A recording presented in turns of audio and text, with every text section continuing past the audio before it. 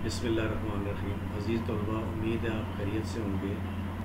तो आज का जो टॉपिक है, या आप सवाल कह लें इल्म सेहत की तारीफ़ करें, नीज़, जिसमानी तालीम और इल्म सेहत का क्या ताल्लक है? तो इसकी वजाहत हम करते हैं आज के इस लेक्चर में। तो आपको मालूम है कि सेहत अल्लाह ताला का एक अनमोल तोहफ़ा है, सेहत है तो सब कुछ है। अगर आप सेहतमंद रहेंगे तो सारी दौलत आपके पास है। और सेहत का अंदाज़ा आप इस बात से लगा सकते हैं कि जब इंसान बीमार होता है तो चल फिर नहीं सकता है किसी बीमारी की वजह से। तो जब देखता है कि बाकी सेहतमंद अफराद चल फिर रहे हैं तो उसे पता चलता है कि सेहत कितनी बड़ी अल्लाह ताला की दौलत है। वो कहते हैं ना हेल्थ इज़ वेल्थ तो इसी इसी तरह जब सेहत होगी तो इंसान हकूक़ुल इबाद के साथ साथ अल्लाह ताला के भी हकूक़ुल्ला भी अदा कर सकेगा। और दोनों मुमकिन इसी वजह से। तो सेहत की चंद तारीफ़ें इस तरह हैं कि सेहत, नंबर एक ये कि सेहत दरअसल बीमारियों से महफूज रहने का नाम है। फिर मुकम्मल जिस्मानी, जहनी और मुआशी आसूगी का नाम सेहत है। W H O World Health Organization ने कहा है सेहत की तारीफ़ इन अल्फाज में की है कि सेहत एक ऐसी कैफियत है जिसमें इंसान जिसमानी, जहनी, समाजी लिहाज से मुतमिन और शाश बशाश और उसमें कोई बीमारी का कोई शायबा तक ना हो। तो इसके अलावा हर किस्म की जिस्मानी बीमारियों से मुबर्रा होने का नाम सेहत है। इसके अलावा एक और तारीफ़ ये है कि अगर आपके आज़ा काम कर रहे हैं रोज़मर्रा के और उसमें आप किसी किस्म की थकावट महसूस नहीं करते तो इसका मतलब ये कि आप सेहतमंद हैं। एक राइटर हैं डॉक्टर थॉमस वुड उनके मुताबिक इल्म सेहत उन तजर्बात के मजमू का नाम है, जो शख्स मुआशी और कौमी सेहत मतलब इल्म, आदात और रवैयों पर मुस्बत असर छोड़े। इसके अलावा इल्म सेहत एक ऐसा इल्म है, जो अफराद और कम्युनिटी कम्युनिटी होता है माशरा ख़ानदान, फिर माशरा के सेहतमंद तर्ज अमल उसके तदरीसी मराइल का अहाता करता है। अब जी इल्म सेहत जबानी सेहत का ताल्लक। जिस्मानी तालीम और इल्म सेहत का आपस में गहरा ताल्लक है। मानवी लिहाज से दोनों अलूम अलग अलग हैसियत के हामिल हैं। लेकिन इनका मकसद और मतम नज़र एक है।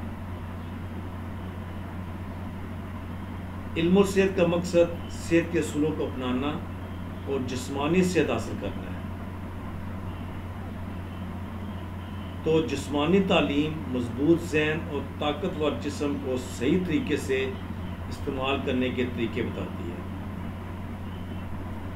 अब मंदजा झैल जो आप कह लेंगे हेडिंग्स हैं, उससे इन दोनों का तलक आप बखूबी लगा सकते हैं।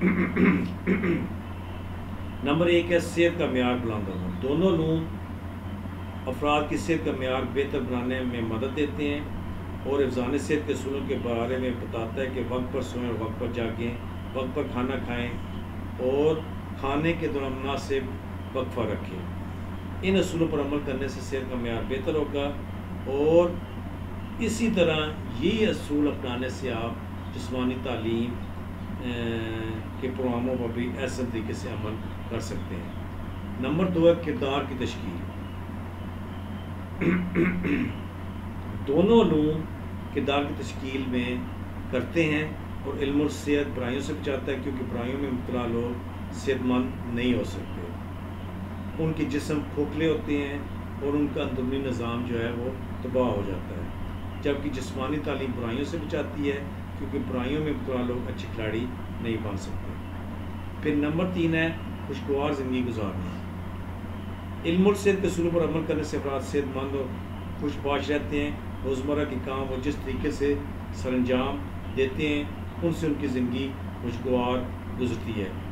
इसी तरह जिसमानी तालीम पर अमल करने से अफराद सेहतमंद रहते हैं और अच्छे खिलाड़ी अच्छे खेल की वजह से मुख्तु महकमों में मुलाजमत अख्तियार कर सकते हैं और उन्हें मुलाजमत मिल जाती है जिनकी वजह से उनका ख़र्चा चलता रहता है और अपने ख़ानदान का आ, वो आ, हाथ बटा बट, बटाते हैं।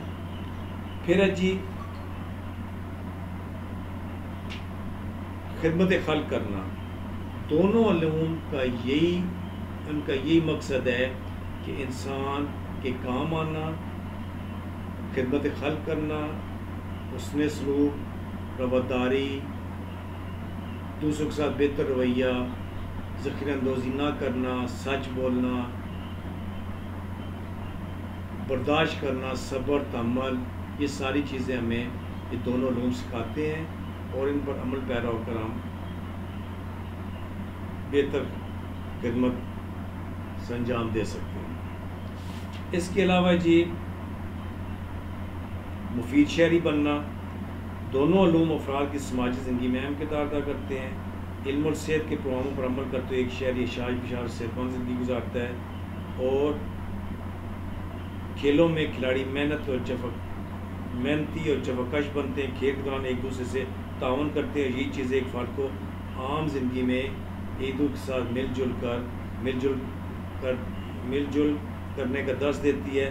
लिहाजा साबित हुआ कि दोनों लोग आवाम को बेहतरीन और ज़िम्मेदार शहरी बनाते हैं।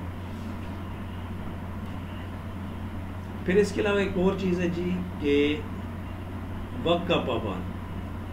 अब तालीमी जिसमानी की जो तालीमत हैं, वो ये कि इंसान को वक्त का पाबंद होना चाहिए।